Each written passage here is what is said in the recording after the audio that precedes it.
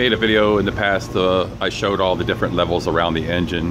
Uh, a lot of you guys asked me that you want to see the whole engine room and for me to point out some of the major things that we're looking at. So this video, we're gonna do that. We're gonna look around the whole engine room. I'll do a voiceover because it's loud, because I can't obviously talk in the engine room. So we'll do a voiceover as we edit the video. So let's go start from the top and work our way down.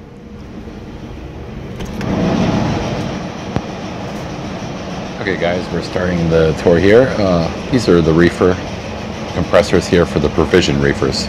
That's where we store our food, the freezer box, the vegetable box. And there's two compressors there uh, for that. So those are very important piece of equipment. We're looking down from above here at the main engine. It's an eight cylinder RT flex engine. Slow speed Sulzer diesel. So we're gonna head down here and start on this level first. The racks on the right, the orange racks, they can be placed just to the left of those yellow and black stripes and one of the deck plates gets removed. Then you can sit the piston on it, allowing the the piston rod to hang down below decks if you're doing a piston pull job. It can be staged and ready. So those racks are to hold the pistons if you had to do that. We're just looking up here at the exhaust valves. Here's a spare exhaust valve, complete unit, uh, head with the exhaust valve on it. And to the left here is a spare cylinder liner. It's not really dirty, that's just a protective coating called Cosmoline to protect from surface rust, things like that, contaminants. It's another exhaust valve and a spare piston. There's the piston crown. You can look down and you'll see that it hangs pretty far below the decks. The rod hangs all the way down. We'll see the lower half of that later in the tour. Just to my left is a brand new spare main engine lube oil pump. We just hung it there not too long ago. Some uh, spare boxes with parts in them. This is the after number two auxiliary blower. There are two of them. That's the after one. We're passing the after turbo now. Uh, controllers for the auxiliary blowers we just passed. And this is the, the boiler room here. Controller for the boiler. There's the, the boiler registry, the lower end of the boiler. And you can see up there, it goes up. The gauge, glass, water columns are all up there. and that's a look there at the forward number one turbo, the silver unit, and the forward auxiliary blower. We saw the after one just a minute ago. This unit is the cylinder lubricators. Provides lubrication to the cylinder liners on all eight cylinders. There's little quills all over the liners you can see, and that provides lubrication for those. So we're passing the number one, which is the forward turbo. And there it is. Okay, so just over here, now on the forward end of the engine, these are spare exhaust valves. One of them is being uh, held there, the forward overhead crane has got hooks on it. There's another cylinder liner without the Cosmoline that we saw in the one just aft. You can see how shiny that looks without it. Alright, so this is uh, the upper engine room level here. That's the MSD unit, Marine Sewage uh, Treatment Plant. This is just a, a, water aquifer pressure tank for water. Keep it pressurized with air and uh, there's water pumps there. This is just a little mist pump to the right, little water mist. Okay, we're looking at the main engine fuel booster pumps, the two cylindrical silver units right uh, just forward. Those are the heaters for fuel. And to my left now are the two main engine fuel pumps there. And there are strainers on the suction side of those pumps, which periodically get changed. There's a little toolbox there. So just take another look here. This is the purifier room where we're at right now. Okay, the four units here, we have four main engine fuel purifiers. These four large units right here, the green units. This is the fuel B&K auto flush filter. They have strainers in there, and little filters, and it auto flushes periodically. And that's the last fuel purifier. This is a sludge purifier, which we really don't use that. This is a main engine lube purifier right here. And the little siblings are the generator lube purifiers. We have two of those. Okay, moving into the starboard generator room. You can see two generators, diesel generators. But this is the jacket water heater. We need that for import. That keeps the engine warm. And this is the distiller or evaporator or desalinization plant. And that's how we make our fresh water for the ship. Drinking water, potable water we call it, for showers, uh, out of seawater. Okay, now we're looking back at the number three and number four ship service diesel generators. They're nine cylinder diesel generators. Uh, and the generator end is what we're looking at right here. They're nine cylinder uh, diesel engines. Okay, so we're going to walk forward here, which is actually aft. You can see the, the mist detectors there. And this is a pre-lube pump for the diesel generator. And this is the air cooler. Behind that cover is the air cooler. Just like we saw in the main engine, the air cooler just below the turbos. Same thing here, just different configuration. That's another look at it right there from the other side, and there is the turbo right there. Of course, the exhaust going up and out the stack, and some of it is going and spinning the turbo there. You guys can pause here if you want to see some of the specs of the engine. Right there. So that's the starboard generator room, number three and number four. The other side is the same, so we don't need to look at that, just two more of the same. So we'll head down to the next level here. It's like a little mid-deck, just around the engine, this deck here. It's actually part of the engine flat. Just a little phone booth there. You got the, we saw the fuel auto back flush filters up above. This is the servo right over here. We'll look at it in a second. But first we're going to see, this is the forward lower engine room. Just a little look down there. We'll be down there in just a moment. Okay, so here's the servo auto backflush filters. The standby is of course in the single containment there and underneath of all these little covers there's little candlestick filters. And it auto flushes by itself. In this controller here you can push the button and it will tell you how many times it's shot so we can make sure that it's shooting periodically throughout the day. These are the really high pressure rail pumps here, super high pressure, hundreds of bar. Now behind these uh, square doors, which we'll take a look at in just a second, you can see them right there, the square doors. If you look inside, and we did in other videos, you'll see underneath the pistons. You can go and see the lower like uh, underneath the pistons, the rings and everything else from inside these doors.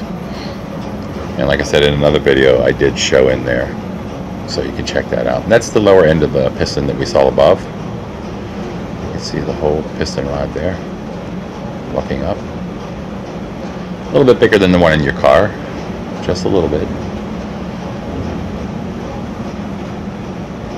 Okay, this is, uh, we're just after the number two air cooler. But this is the blend on board unit, a Bob unit we call it. There's two pumps there. Uh, you have suction from a lube oil sump and an additive tank. They get blended together to make cylinder oil.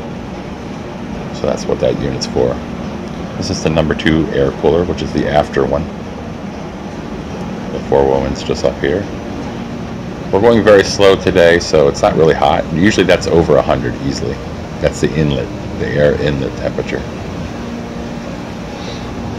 And of course that air is cooled through water, and these are the lines right here, the inlet and the outlet. Water goes in and comes back out, and that's what cools the air before it goes into the uh, engine, the scav air space of the engine. And we've looked in there in another video as well. This is the number one air cooler, which is the forward one. And once again here is the inlet temperature which would normally be plenty above 100. And then the outlet temperature is right there, the big gauge. It's about 36, but normally it's about 40. So it goes from well over 100 down to 40 degrees. Big temperature drop across that cooler there. All right, the next deck down here, we're going to see some uh, coolers, lube oil LT coolers, feed water tank, and there's uh, some cooling water pumps in here. We'll see. But these are the LT jacket water coolers. There are two of those. You have salt water that goes in and out, which cools the jacket water from the main engine. Like I said before, in port, when we're not running, you need to keep it warm. That's what that heater upstairs was for. This is the other cooler here. There are two of them. They're identical. Sometimes you need to. That's why we have two of those. You're in a really hot place or something, we might need to have two online. These are freshwater cooling pumps right here. These three pumps. Down below, you'll see three saltwater cooling pumps. And the handles on the valves would be uh, a green color, indicating that they're saltwater. This is your lube oil cooler, main engine lube oil cooler. Same principle, lube oil in and out. And you, you got your water that comes in and goes out, cooling the temperature of the lube oil before it returns. This is just the feed water tank over here. And there's a little inspection window. You can make sure it's nothing in there. And it's very clear, so we're all good there. and it's just the water level right down there. We call that the hot well. And that's just a feed water tank. This is just one of our fire hoses in the engine room. Sometime I'll make a video going around and we'll show fire equipment on the ship, maybe safety equipment, fire equipment. There we go again, another shot of the forward engine room. We're heading down there now, but yeah, that would be another video for another day maybe We can show uh, some of the fire safety equipment that we have on the ship. Maybe next time I'm back I'll do that. This is the lube oil auto backflush filter. Upstairs we saw the servo and we saw the, the fuel. oil. This is the lube oil auto backflush filter which automatically shoots. These are boiler feed water pumps down here for the boiler upstairs that we saw. We're looking at the starboard side of the lower engine with the breathers there. That's the crankcase inside of there. And just recently uh, I made some video where we show inside of there too. I don't know if you guys saw it, but if not, check that video out. These are turbo lube oil pumps for the turbos. So yeah, we showed inside uh, that. That's the lower end of the number two air cooler, the units we saw above, on the deck directly above there. That's just underneath the side of that. And we're almost at the after end of the engine. You can see the shaft coming out here the tail end of the engine. And this is the large planetary gear. Got two big pumps here. We saw the spare one up, up upstairs remember? These are the main engine lube oil pumps now on the other side of that planetary gear there's a jacking gear it's called. It engages onto that gear. It's a smaller gear but it engages to this large planetary gear. And there's a controller just across here, right over there, the gray controller, and there's a push button, and you can manually turn the engine when you're inside doing an inspection, a ring inspection or something. You can manually turn the engine slowly with the jacking gear, which is right there, that motor right there, and a handle. That's what engages the small gear onto the large planetary gear there.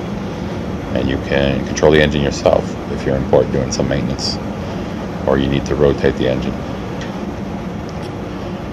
And again, we're not going very fast. You saw the wasn't turning very fast. Just under the stair ladder here, there's a couple little pumps, and here's the controller.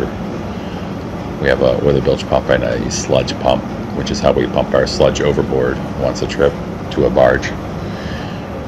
The green unit to the left is the oily water separator also known as the OWS, and it does exactly what the title says, separates the oil from the water. These are just little, little lube oil pumps, and you have a lube oil transfer pump here. And you can see the strainers. Of course, on the suction side, there's a filter. And the next two units on the left are the fuel oil transfer pumps for moving fuel oil around. We have two of those, identical pumps. There's the controllers. And there's the aftermost one right there, and a filter, which coincidentally I need to clean tomorrow. We're going to do that. And there's the forward one, and the filter is to the left with the flat top unit. This is the cargo hold bilge stripping pump, which is not there right now. It's up in the workshop getting maintenance. These are fire and general service pumps. There are two of those. We're on the forward port side of the engine room now. These are the reefer cooling pumps, saltwater reefer cooling pumps. We don't need that on this run, but if you're in a hot part of the world, it provides cooling water to your reefer containers that there's separate lines that can be plugged into those containers in the cargo holds, and it circulates water through the reefer units, to keep them cool. If you go like to the Middle East or somewhere, or Dubai, you might need to hook something like that up, but not on this run. We're just going to Europe. And these are the three saltwater cooling pumps. And that little deck up there above, we saw the freshwater ones. These are the saltwater cooling pumps. That's just a little controller unit for remote operated valves hydraulically. That's just a hydraulic unit to control those valves remotely. This is a starboard main engine sea suction. You see the anodes on the top, the three little things there on the top, and there are the spare ones right there. And there is a, also a port main engine seawater suction too, which is right over here. Go right there. There's also three anodes there, and there's three spares also for this one. That's the main sea suction. That's where the salt water comes into the ship from the sea. It's your main water for cooling. So that was the lower engine room, guys. We're going to head up. There's a little deck over here, just to the right. And we're going to see the other reefer cooling pumps. We just saw the three down below. These are the other three right here. Reefer cooling pumps. And again, that's if you're in a really hot climate somewhere. We're not. We go back and forth to Europe. The reason there are six is because three of them are freshwater, three of them are saltwater. This is just an electrical storeroom. There's a lot of little spare things, parts, all of our lamps, light bulbs and stuff are in here. There's some conductor in the back. And uh, just lots of parts in here, electrical stuff. Any kind of light bulb that we use in this room. And there's the the controllers, the six controllers for those reefer cooling pumps, the three saltwater ones and the three freshwater ones, So all on that board right there. Another look at the engine, forward end. And of course there's another level of it above where we started the tour. Okay, so we're back here by the turbos. We're to make our way up to the deck we started on, except for the other side. We didn't see that yet. And we're gonna take a look up there. There's not much more to look at. Just looking at one of the turbos here again. Okay, there's an auxiliary blower spare. And we saw the two units. That's just a spare one for that. Temperature in the engine room today is not bad. It's only 32 Celsius. 12% humidity only. So actually that's a cool day for us. Okay, so we're to walk up these steps here. Take the stair ladder up another deck. Looking at the boiler still. You can see the gauge glasses right over there. This is a low pressure boiler. It's usually about 5 to 6 bar. Like 75 to 90 pounds of steam. So that's low pressure two green units are working air compressors. And they are what the name says.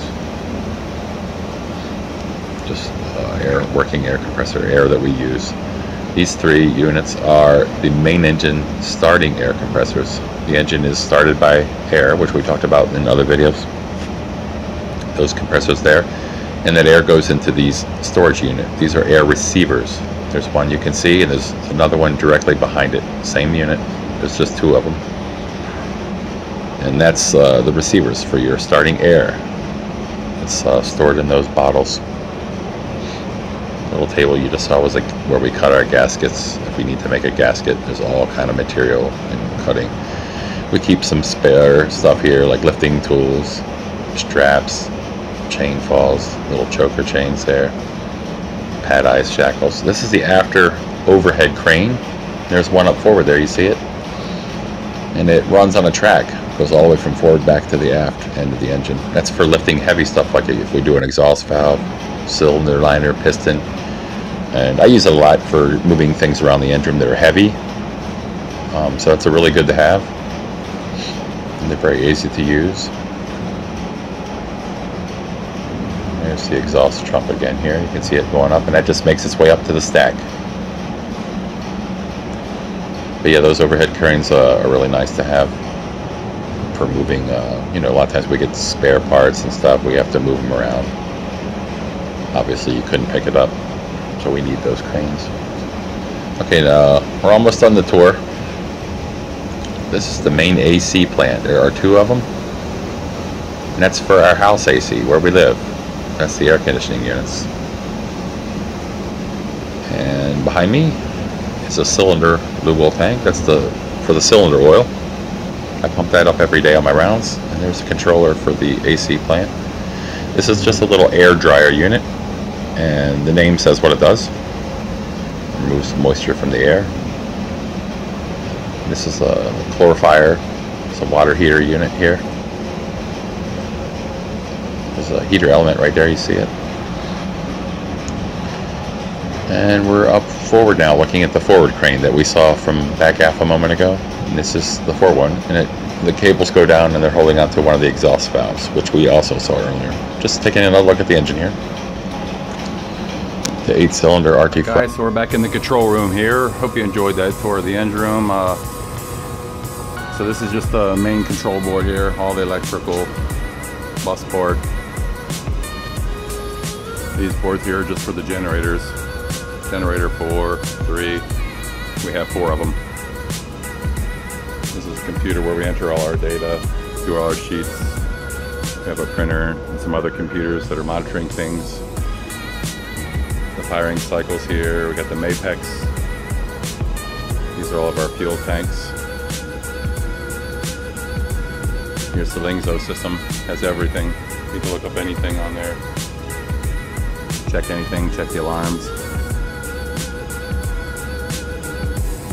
Some other gauges here. We can see out in the engine room, we have a screen here with a camera.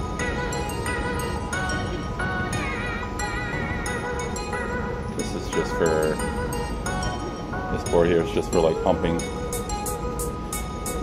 different cargo hold tanks if they get full.